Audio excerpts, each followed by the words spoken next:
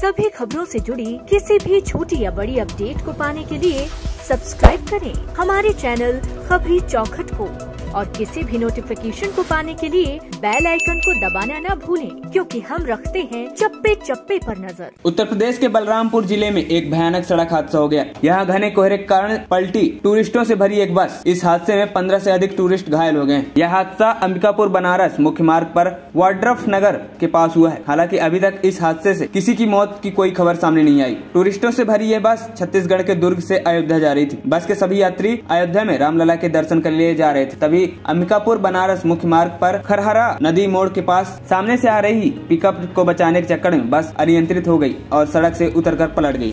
मिली जानकारी के अनुसार हादसे के समय बस में करीब 42 टूरिस्ट सवार थे, जिनमें से 15 तीर्थ यात्री हादसे में घायल हो गए। हादसे की सूचना पुलिस को दी गई। हादसे की जानकारी मिलते ही पुलिस मौके पर पहुँची और घायलों को पास वाड्रफ नगर सिविल अस्पताल में भर्ती कराया गया। पुलिस के अनुसार यह हादसा घने कोहरे के कारण हुआ है। कोहरे के कारण सड़क की दृश्यता काफ़ी कम थी। ऐसे में आशंका जताई जा रही है कि हो सकता है यही कारण हो बर्फ़ पलटने का। वहीं हाल ही में उत्तर प्रदेश के आगरा नेशनल हाईवे 19 पर सिकंदरा थाना क्षेत्र के अंतर्गत सब्ज़ी मंडी के पास एक भीषण हादसा हुआ। यहाँ एक ट्रक ने सड़क पर खड़ी करीब 20 गाड़ियों को रौन दिया। इस हादसे में तीन लोगों की मौत हो गई और नौ लोग गंभीर रूप से घायल हो गए। पुलिस ने आरोपी ट्रक ड्राइवर को गिरफ़्तार कर केस दर्ज कर लिया है। खबरी चौखट की रिपोर्ट।